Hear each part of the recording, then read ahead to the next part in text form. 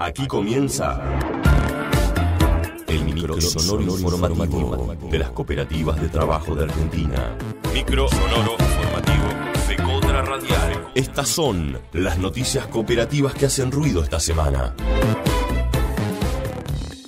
Futuro Ensenadense techó la sala de bombas del barrio Mosconi. La cooperativa de trabajo Futuro Ensenadense es la encargada de realizar las tareas de limpieza en la sala de bombas del barrio Mosconi, ubicada en el Canal Oeste, complementando las obras realizadas por el municipio de Ensenada para mejorar los desagües y evitar inundaciones. La cooperativa Futuro Ensenadense debe realizar las tareas de limpieza en la sala de bombas. En esta oportunidad, con los aportes realizados por IPF, para la compra de materiales, se realizó el techo de dicha sala para mejorar las condiciones laborales de los trabajadores.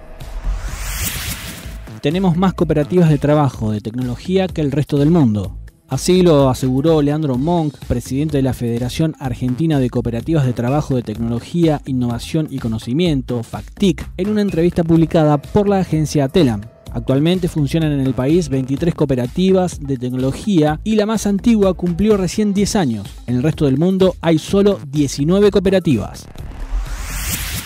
Quedó formalmente constituida la seccional centro de la provincia de Buenos Aires, integrada por las cooperativas de trabajo Cooparsi, Mayosol, Contex, Molinera Saladillo y La Calera de Olavarría. El lunes 21 de octubre quedó conformada una nueva seccional de FECOTRA ubicada en el centro de la provincia de Buenos Aires. La seccional tiene por objetivo trabajar en proyectos asociativos para la inclusión social, financiamiento productivo, comercialización, asesoramiento, capacitación y articulación con actores de la economía social y solidaria de la región. Escuchamos al presidente de la seccional, miembro de la cooperativa Coparsi, Darío Mónaco. Básicamente la seccional eh, tomó, digamos, cuerpo a raíz de la, integración entre las cooperativas de la, de la zona centro de la provincia de Buenos Aires, que esa fue la que le fue dando un poco el, formato a toda la, a todo el tema del surgimiento de la seccional de FECOT. Eh, casualmente estamos siempre mm, eh, profundizando ese debate de, cómo, llevar digamos, las necesidades o las voces de todas las cooperativas que están dentro de la, de la, zona centro y poner digamos, en cada una de las ciudades que las cooperativas integran la seccional, tener como una ventanilla de cada ciudad, digamos, donde las cooperativas pueden venir a volcar sus necesidades y, traerlas a la, seccional para que juntos podamos este, darle las soluciones correspondientes o acompañar algún proceso que tiene que ver por ahí con la consolidación de algún proyecto. Nosotros vemos particularmente la necesidad de, esa integración que tiene que haber entre las cooperativas, desde comprarnos entre cooperativas, desde ayudarnos en nuestros problemas, de, profundizar, digamos, los talleres de debate, de capacitación que tienen que tener todas las cooperativas, esa educación cooperativa, esa militancia dentro de las cooperativas, como para que podamos consolidar los proyectos, no solamente lo que tiene que ver con la parte económica, sino con el tema de la constitución misma de la cooperativa, digamos, la vida institucional de la cooperativa que es tan importante.